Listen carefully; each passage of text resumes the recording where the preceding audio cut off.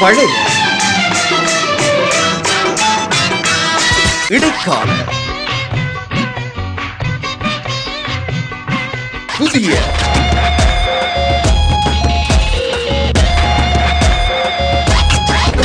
நம் நாட்டு பாடல்களின் சங்கமம். புது வசந்தம். ஞாயிற்றுக்கிழமை இரவு ஏழு மணிக்கு.